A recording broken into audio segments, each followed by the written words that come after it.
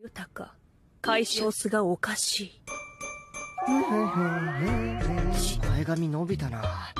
散髪行っておけばよかったかな。間違いない。確実に女だ。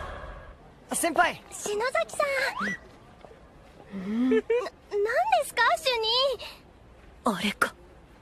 あれなんだな。ちんまりしてかわはあ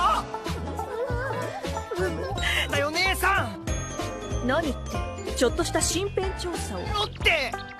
相変わらずね篠崎姉連れて帰ってはダメだろうか。ダメに決まってるだろう！いい妹。憧れませんか？うむ結婚すれば叶いますよ。お姉ちゃん？お姉ちゃん？でいつ結婚する？なあ結婚しろビーム。なんだよそのビーム。ばかり。いえい。え